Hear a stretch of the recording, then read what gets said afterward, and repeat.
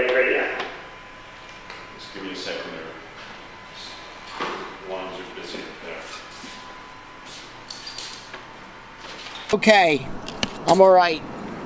I figured out a way to put it so that I'll be able to keep it safe. Oh man. All righty, where we uh? We're going across that footbridge. Okay.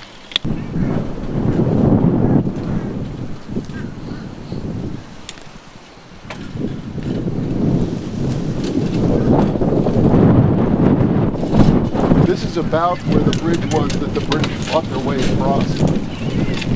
And the Americans had all their cannon trained on the bridge. And they slaughtered a bunch of people um, coming across this bridge, a bunch of British, uh, British uh, soldiers. So this is a wooden. This was a wooden bridge going across the Anacostia River, and it was called the Anacostia River then. It was called the Eastern Branch of the Potomac. Um, there was no, it wasn't called the Anacostia at the time. And if you look to the right, if you want to stop here a second, Sure. if you look to the right, all the cannon were, uh, all the American cannon were focused, you know, with grape shot and whatnot, right on this bridge, and so there was great uh, bloodshed right here. And the Americans stopped them um, at first, but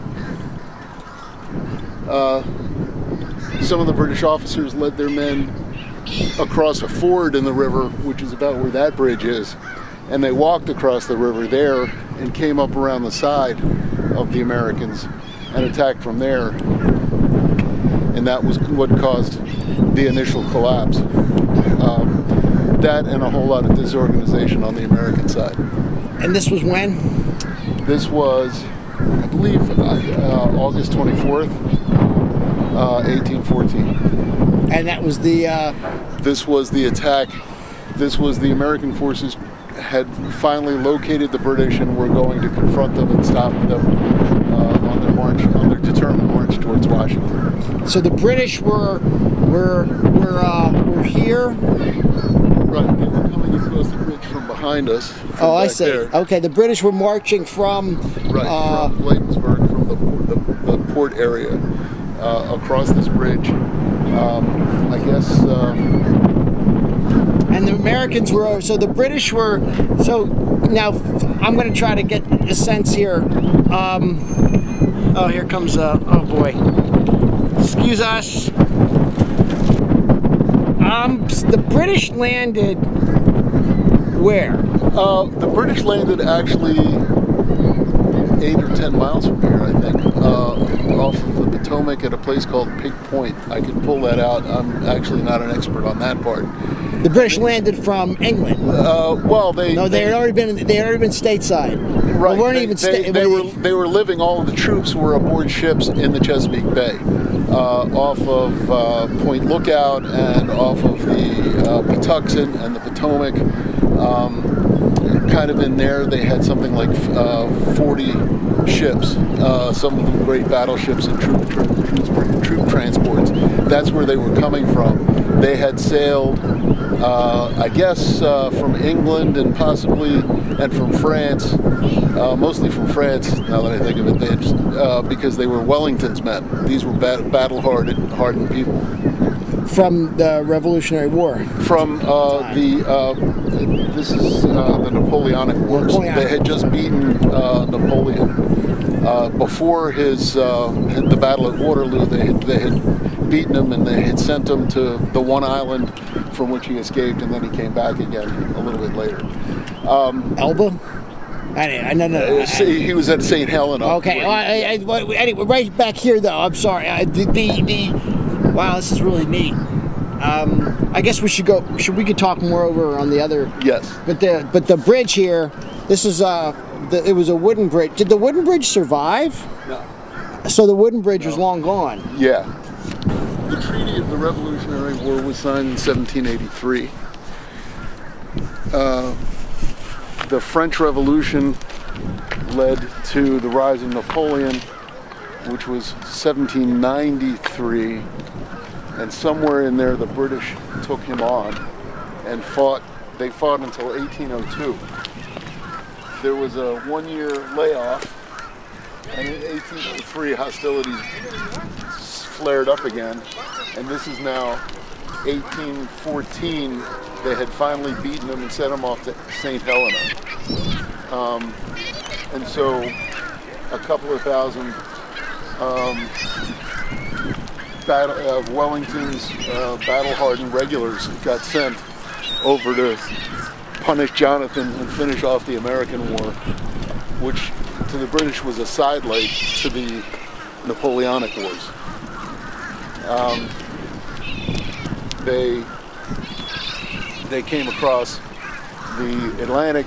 I think they might have gone to the uh, islands, uh, um, the West Indies first, and then came up uh, to uh, the Chesapeake Bay. And uh, they chased, there was a flotilla led by Joshua Barney, um, uh, a great naval hero who had 30 barges with which he attacked the British and harassed trying to hold them at bay. They chased him up, um,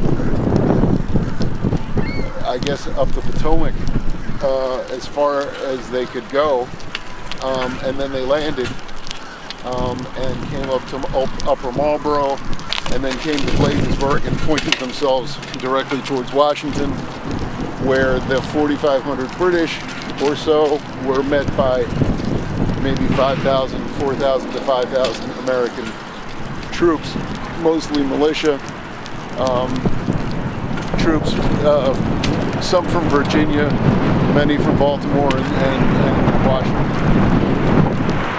Francis Scott Key was among them.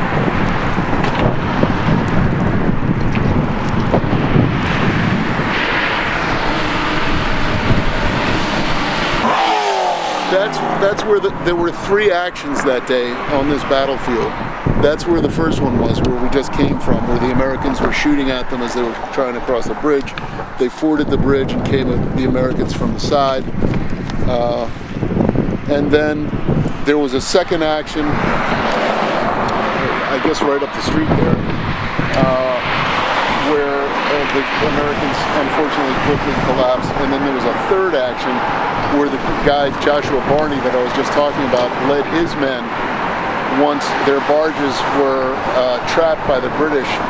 They grabbed their cannon and dragged them across the, across the land and dragged them up, uh, I guess about half a mile up that way towards a place called Tunnicliff's Bridge where uh, once again there was a bridge and a, and a, a steep drop off where the British came across the bridge and um, Barney's men not only shot at them, and these were these were not militia guys that you know were clerks and farmhands. These were um, these were battle-hardened guys who had been ha harassing the British for uh, for a month or two, uh, and they could shoot.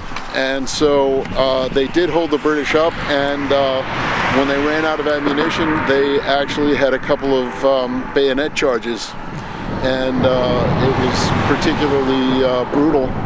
And it wasn't until Barney was wounded uh, very seriously and lost a lot of blood that, uh, and everybody, all the militia, uh, the DC and Virginia militia under orders had been told to um, retreat.